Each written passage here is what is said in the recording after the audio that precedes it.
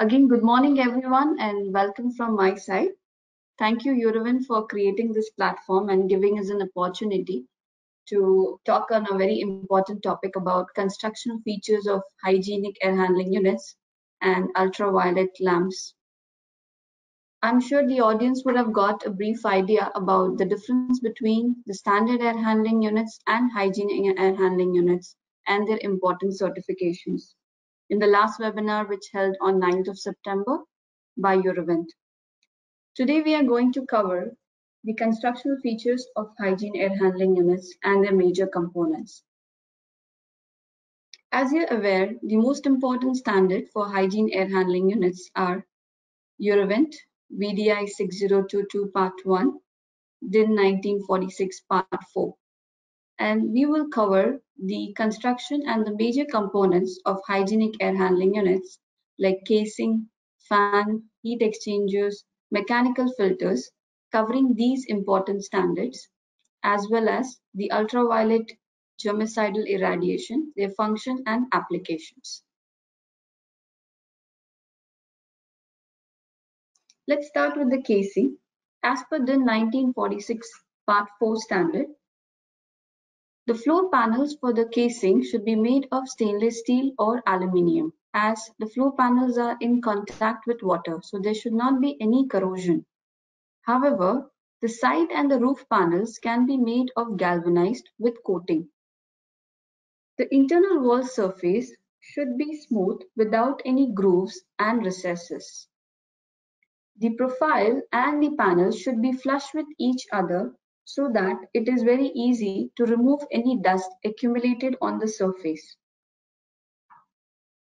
The hardwares and the fasteners should be made of stainless steel. There should not be any screws used inside the air path. Hence, the construction should be of screwless panel construction or it is also called as snap fix panel construction. But there will be some blank off between the sections inside the HUs which requires to have screws. This screws should not be of Phillips head which has a groove on its head as the chances of dust accumulation is more.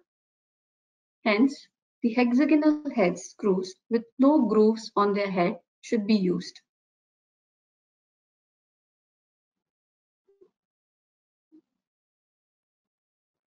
The gaskets and the nylon parts and the sealants should comply with microbial inertness certified in accordance with ISO 846 standard.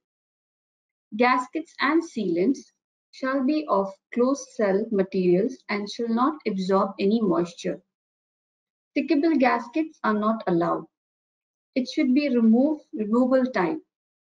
Seals shall not emit any odors or harmful substances.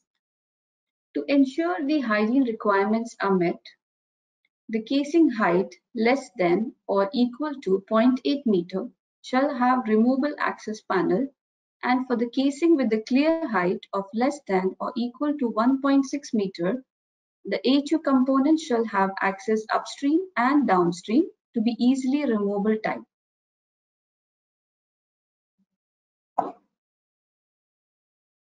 Fans.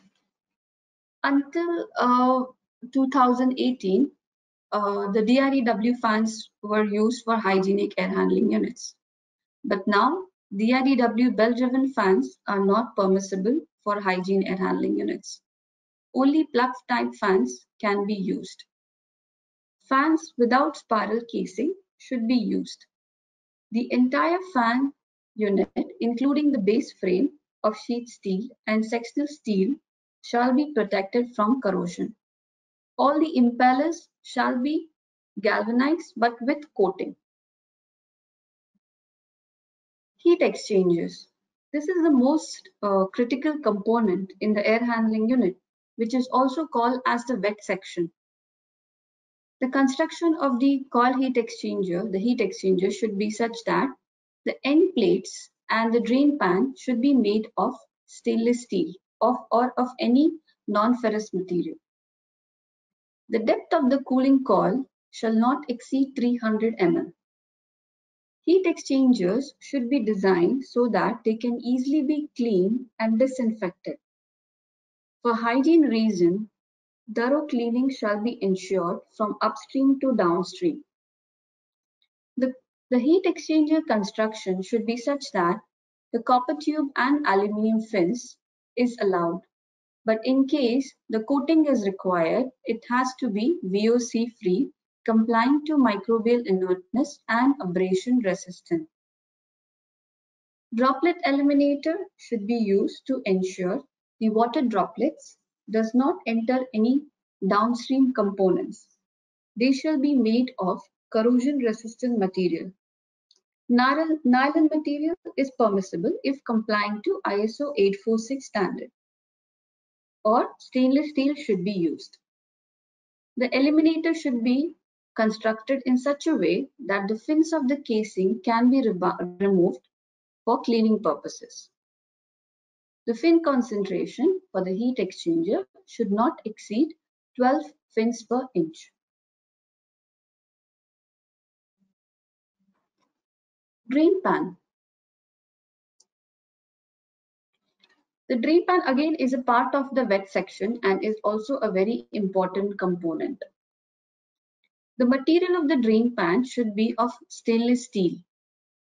The drain pan construction should be designed to completely drain 5 liters of water per square meter within 10 minutes without any stagnation of the water in the drain pan. The drain pipe should be of minimum 40 mm in diameter to ensure that there is a free flow of the water without any stagnation. Mechanical filters. The filter classes shall be in accordance to DIN EN ISO 16890 standard. As per these standards, the first stage of filtration shall be of ISO EPM 1 greater or equal to 50%, which is also called as F7 grade. And the second stage of filtration shall be of ISO EPM 1 greater or equal to 80%, which is also known as F9 grade. And the third stage of filtration should be HEPA filter minimum H13. As per the hygienic standards, there are different types of rooms classified as class 1, class 2 depending on the areas in the hospital. For class 2, two-stage filtration is required, but for class 1 rooms, three-stage is a must. The location of the filter is also very important. Hence, the second stage of filtration should be after the fan section. Filter removal is of two types, front loading arrangement and the side loading arrangement. Front loading is good to achieve the filter bypass leakage of F9 as per DIN EN 1886 standard, which confirms only 0.5% of the leakage out of the total air volume. Pressure differential manometer is mandatory for each stage of filtration.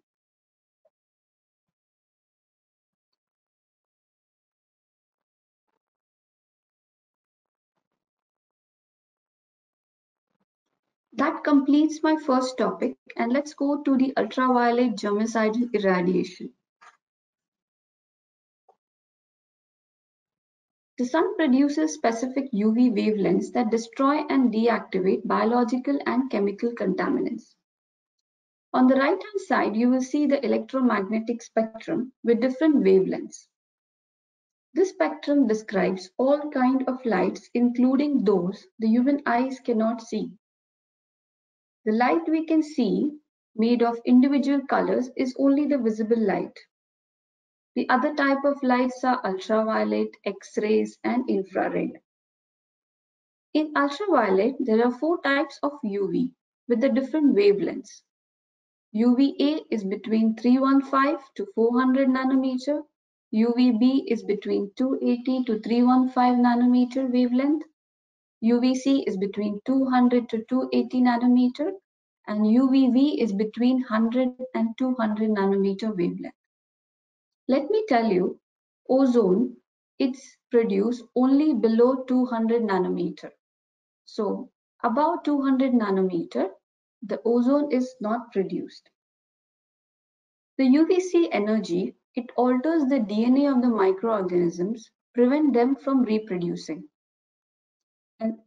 As per ASHRAE, UVC of 253.7 nanometer, generally referred as 254 nanometer, we can achieve the optimal germicidal strength to disinfect the fungi, mold, and viruses.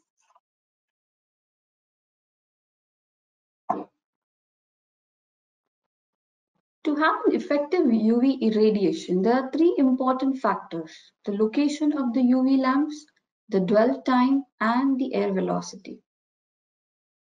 Let's look at the application of the UV lamps. It is used for surface and air disinfection. We commonly use UV lamps for disinfecting the cooling coil inside the air handling units.